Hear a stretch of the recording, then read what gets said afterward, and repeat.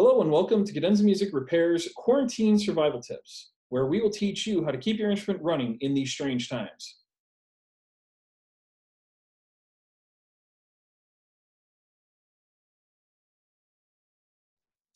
In this video, I'm going to show you how to oil your French horn.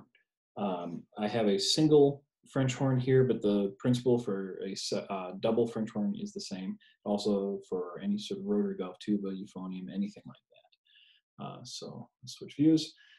So here I have removed the top cap here, and I'm going to use a bearing and linkage oil. And I'm just going to put a little bit right around here. And then I will flip over using the same oil. And I want to get right inside uh, under the arms. You see the part that is moving there, and I want to get underneath that. There's a little bit of a gap between the body of the horn and that stop arm, and I'm just going to put a couple of drops in there. Then that is something you'll want to do once a week. Um, you don't have to do that every time you play, but what you do want to do every time you play is pull the valve or the slide out and take your rotor oil and put a few drops right down there. So I'm going to put a few drops in and just work the valve.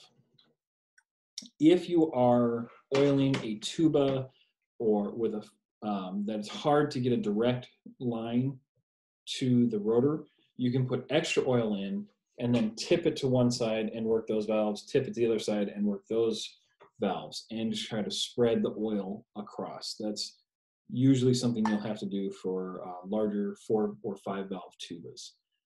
Um, and once you've done that, you'll see that your valves are working much quieter. Um, it's important to do the rotor oil every time before you play. Keep those uh, rotary valves well lubricated. Uh, most people don't do that and pull the rotors out, they're gross. They're green and uh, need to be uh, very thoroughly cleaned. If you oil them regularly, they won't have as much buildup on them. They will play a lot smoother, uh, and you'll get a lot more life out of the horn. I hope that helped. If you need further assistance, please email us at repair at cadenzamusic.com and we will set up a one-on-one -on -one video chat to help you with your specific needs. Thanks.